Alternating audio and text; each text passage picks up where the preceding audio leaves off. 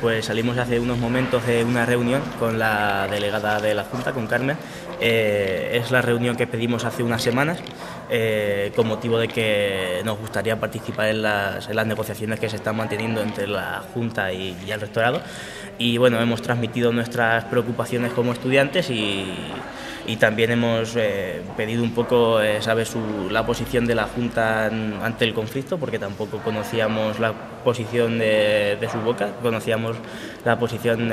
por medio de, prensa y demás. Y, bueno, lamentamos bueno, hoy se, se, está llevando a cabo una reunión entre la comisión que se encarga de, redactar eh, los presupuestos eh, para introducir algunas de las enmiendas. Eh, lamentamos que no se nos haya avisado antes por parte del rectorado y de, la Junta para poder participar en estas negociaciones de cara a la redacción de, enmiendas y demás. nosotros mm, estamos construyendo, estamos todavía constituyendo este comité provincial, perdón, regional del, del que hablamos hace una semana. estamos mantenido contacto con diferentes sindicatos y organizaciones y bueno, llamamos a toda la comunidad universitaria a que, a que se sume y que fortalezca, el, fortalezca este comité para poder llevar a cabo diferentes acciones. Eh, nosotros esta tarde tendremos una asamblea abierta en, en el aulario polivalente de la universidad eh, a las 7 y cuarto para, para comentarle a los estudiantes eh, lo, que nos han, lo que nos han dicho hoy, como también lo que nos dijo el jueves el rectorado, puesto que el jueves tuvimos una, una reunión con el rectorado. Y, bueno, eh, nosotros seguiremos luchando por una universidad eh, por y para todos los estudiantes y los trabajadores eh, y sabemos que la raíz de este problema, de que no nos hayan llamado antes, de que nos hayan, entre comillas, apartado, es que, no hay democracia dentro de, nuestra universidad y que, bueno, siempre pagamos los platos rotos los mismos, los estudiantes y los trabajadores, que al fin y al cabo somos los, los más débiles dentro de, dentro de la universidad. Eh, no, no, sabemos si se llegarán a acuerdos entre, entre Junta y Rectorado. Sabemos que se han presentado algunas enmiendas, que, que esas enmiendas eh, no, no, respetaban algunos acuerdos que, que, se habían hecho anteriormente, pero que ya se había, se había hecho una contrarredacción por parte de la universidad y que, y que, bueno, que se estaba trabajando en,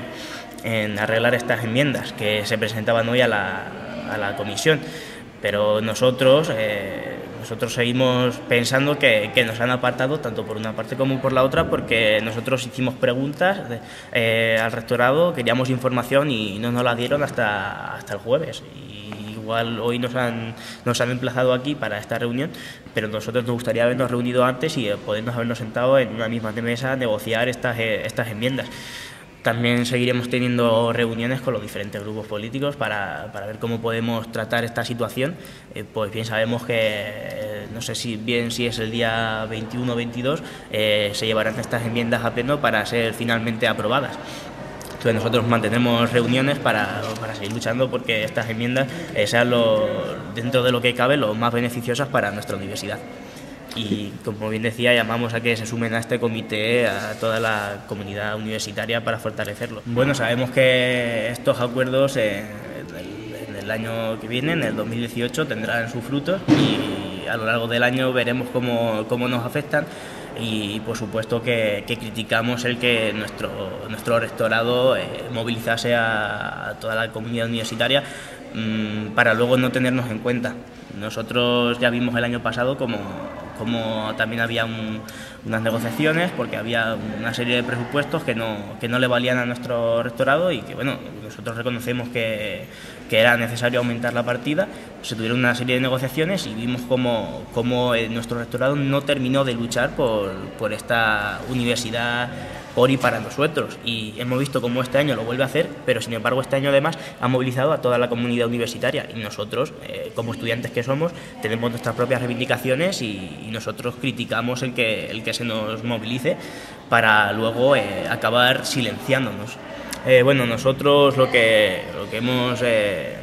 lo que hemos puesto sobre la mesa es en las diferentes reuniones que hemos tenido han sido nuestras reivindicaciones y, bueno, como tal, enmiendas no hemos podido presentar. Además, nosotros eh, no pertenecemos a ninguna institución, no, tampoco tenemos, eh,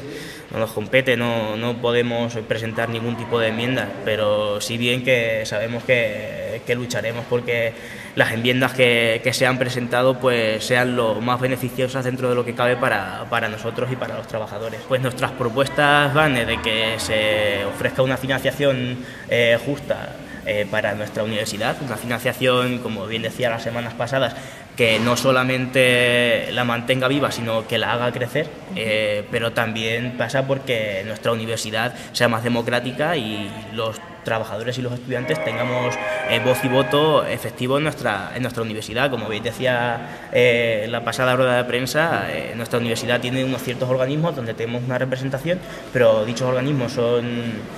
son bastante limitados y nuestra representación además dentro de ellos es una representación nimia.